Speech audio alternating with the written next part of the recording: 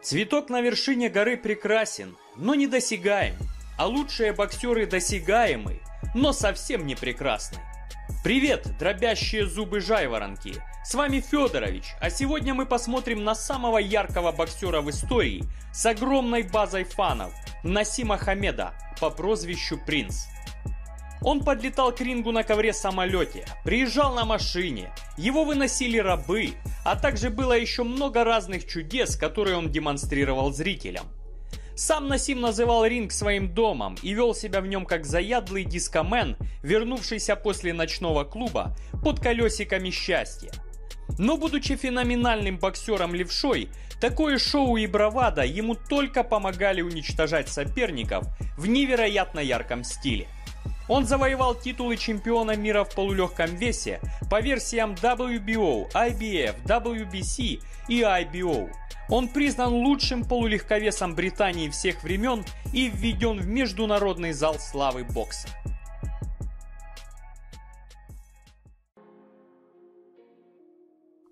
Насим Хамед родился 12 февраля 1974 года в Шеффилде, Англия.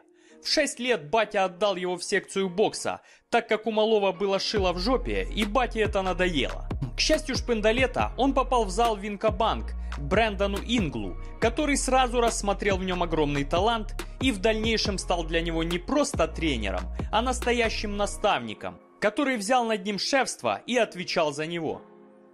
Кстати, Малой уже в 12 лет заявил журналистам, что станет чемпионом мира. Человек хорошо делает то, что любит, но на прямой дороге к успеху всегда ведутся ремонтные работы. В 18 лет принц начинает выступать в аматорах по взрослым и разрывает свою весовую категорию, забирая титул чемпиона Англии, которым он становился в дальнейшем еще не раз.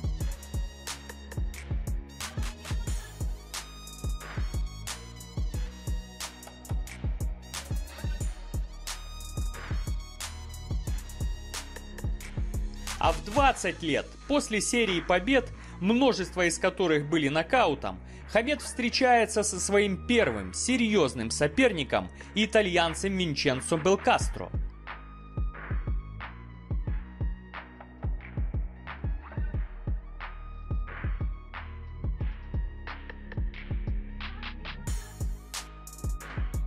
Отправив Винченцо в нокдаун на первых секундах боя, а потом и в пятом раунде, но рефери этого как бы не заметил. Насим весь бой издевался над итальянцем, как хотел, в итоге завоевав титул чемпиона Европы в легчайшем весе.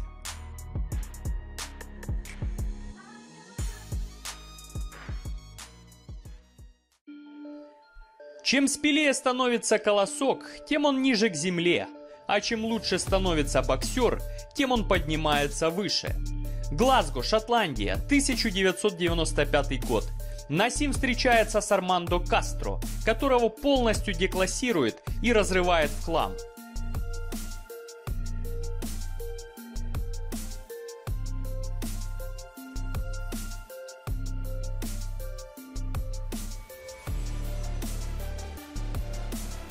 Отправив мужика дважды в нокдаун в четвертом раунде, рефери надоело смотреть на это побоище, и он остановил бой, отдав заслуженную победу принцу.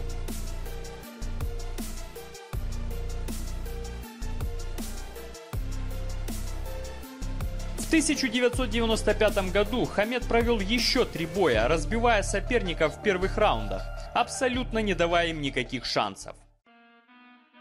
Друзья приходят и уходят, а вот враги только накапливаются. Также у хороших боксеров соперники. Чуть позже, в этом же 1995 году, принц проводит свой первый бой за титул чемпиона мира по версии WBO против Стива Робинсона. Это уже была серьезная оппозиция. 26-летний Робинсон уже 7 раз защищал свой пояс и не собирался отдавать свое украшение, на которые отлично ведутся девки в кабаках. Бой был фантастическим. Насим сразу подобрал свою дистанцию и демонстрировал невероятную скорость. В то же время Робинсон работал только с глухой защитой, выжидая свою возможность для удара. В середине пятого раунда Хамед отправил Стива в нокдаун. А в середине восьмого раунда рефери остановил бой, объявив нового чемпиона мира по версии WBO в полулегком весе. Но как в миске борща всегда есть женский волос, так и любая победа имеет горечь. В этом поединке Насим впервые повредил руку, и эта травма будет преследовать его всю жизнь. There, the viewers know was the best. Now he said he was too strong. Everything his trainers and his manager says. What happened? I was too strong, too fast, and too good, and I'm world champ. Чужое страдание можно терпеть хоть три года, поэтому Насим заставлял страдать всех, кто претендовал на его новенький блестящий пояс. Саида Лаваля принц отправил на канвас на первых секундах, закончив бой в первом раунде всего тремя ударами.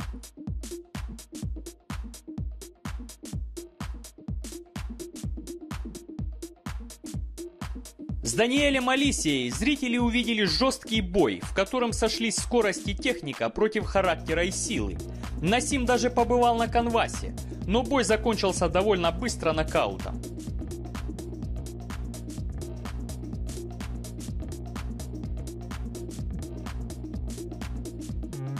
Оппозиция в лице Мануэля Медины была очень серьезной, ведь мужик был дважды чемпионом мира и хотел забрать свою прелесть обратно. Но принц побрякушки просто так не раздает. С первых секунд Хамед двигался как неуловимый комарик и жалил, как ненасытная самка комара, отправив Медину в нокдаун в первом раунде.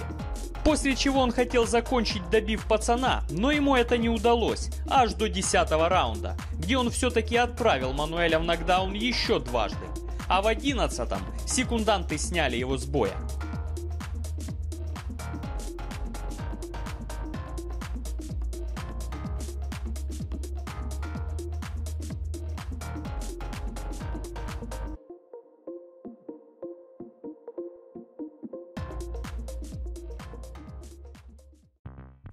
Февраль 1097 года. У Насима наконец появляется возможность провести объединительный бой за пояса WBO и IBF против Тома Бум-Бум Джонсона, который является чемпионом на протяжении четырех лет. Но как жена всегда находит заначку, всегда найдется боец, который захочет забрать твою славу. Это был невероятный бой с жестким обменом ударами, бешеной скоростью и феноменальным количеством ударов.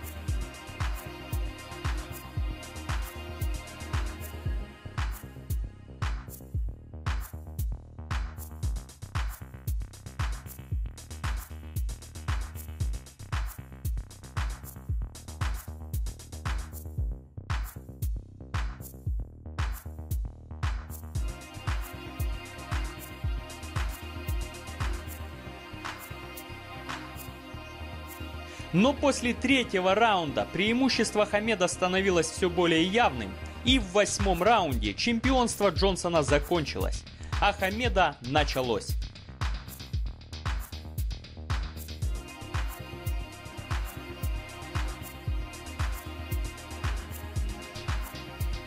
Со своим следующим соперником Билли Харди, чемпионом Англии, принц разделался всего за 93 секунды, не увидев серьезного сопротивления.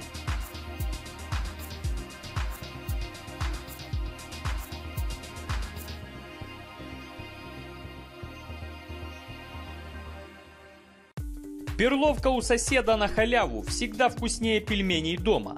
Так и все боксеры рано или поздно должны покорить Америку. Конец 1997 года.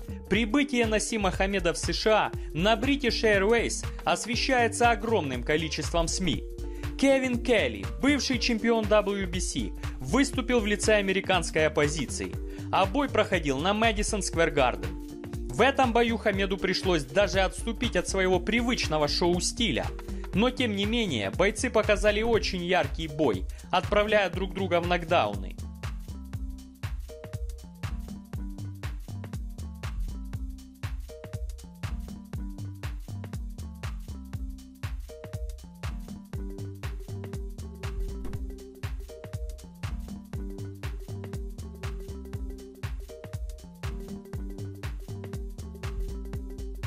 Но тем не менее яркая победа нокаутом в четвертом раунде подкорила сердца американцев, увеличив и так огромную фанбазу принца.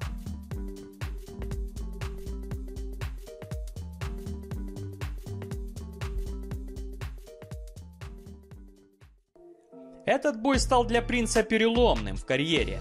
Это был первый бой на HBO, который принес ему много денег. А также он расстался со своим тренером Инглом, который воспитывал его с детства. Сам тренер заявил, что Насим уже не тот.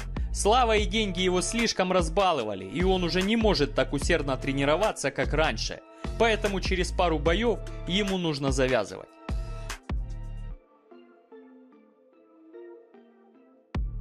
После покорения Америки у Хамеда была защита титула против Вильфредо Васкеса, которого он отправил в технический нокаут в седьмом раунде.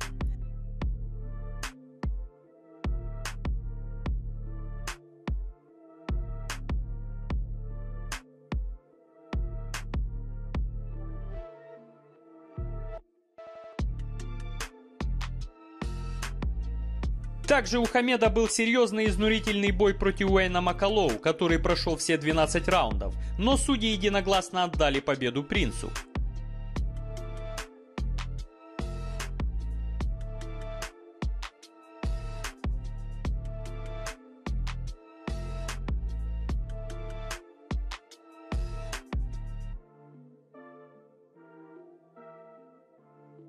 Затем был тяжелый бой против будущего обладателя пояса IBF Пола Ингла, которого Насим победил техническим нокаутом в 11 раунде.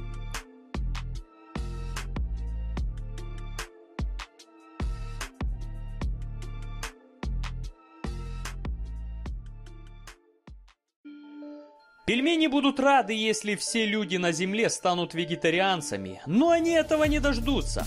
А в октябре 1999 года Насим дождался объединительного боя за пояс WBC и WBO против жесткого мексиканца Сезара Сото, который прошел в США.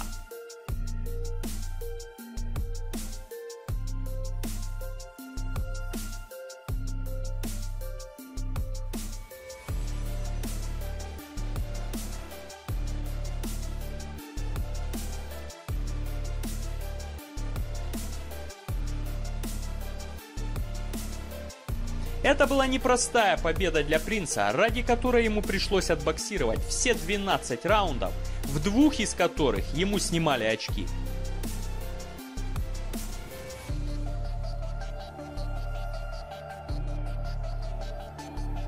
В марте 2000 года Хамед встречается с непобежденным обладателем титула IBF, африканцем Буяни Бунгу, которому не помогли шаманские штучки накуренных вождей племени, и он отправился к предкам без трубки мира в середине четвертого раунда.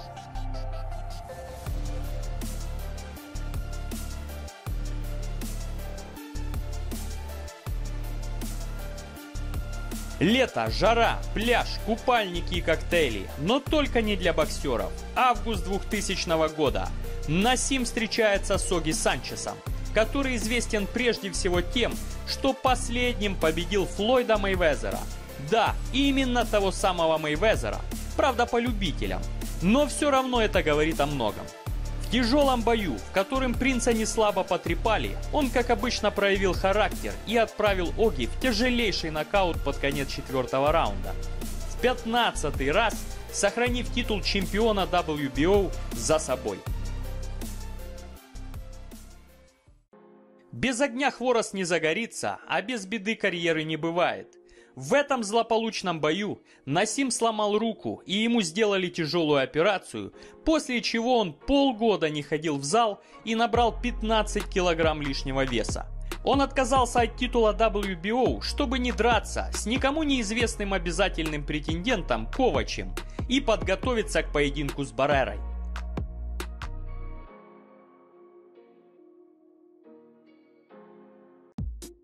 Благородный человек не помнит старого зла, а боец, выходящий на новый бой, не должен думать о былых победах.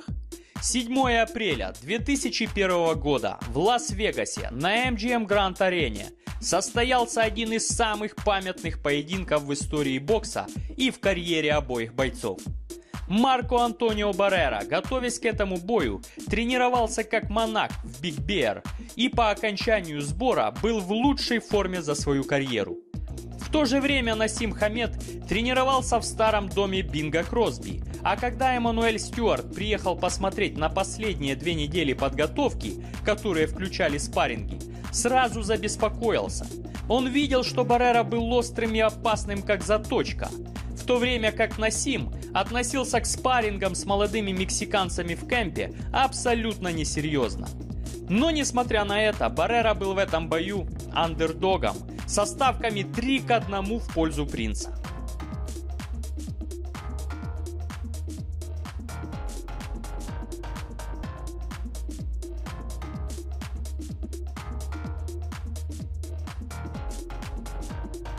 Баррера одержал победу единогласным решением судей. Кстати, контракт включал в себя возможность реванша, но он так и не состоялся, несмотря на то, что это был самый кассовый бой в полулегком весе за всю историю бокса в Америке. Это поражение было единственным в карьере великого принца Насима Хамеда, поставив единичку напротив 35 побед. 18 мая 2002 года принц вышел в ринг против Мануэля Кальво за титул чемпиона мира по версии IBO, который выиграл судейским решением по истечению 12 раундов, но был освистан зрителями за вялый и равнодушный бой. Не объявляя завершения карьеры, в 28 лет он перестал боксировать, хотя много раз говорил, что еще вернется. Но этого так и не произошло. Подписывайтесь на канал, ставьте лайк, жмите колокольчик и делитесь видео с друзьями. А также пишите в комменты, вы, как Насим Хамед, деретесь на кухне и в кабаках, или еще ярче. Благодарю за просмотр. Пика! Все, спокой. Защита. Нога где-то. Просто переваливайтесь. то вы любого человека, вот я могу двумя пальцами взять у человека вот так вот кадык достать, понимаете? Не напрягаясь. Могу ребро вот так вот просто взять вот так вот и ребро вот достать у человека. И этим ребром ему хоп и глаз выколоть, да? Как бы не отходим от этого образа, представляем, что мы медведи.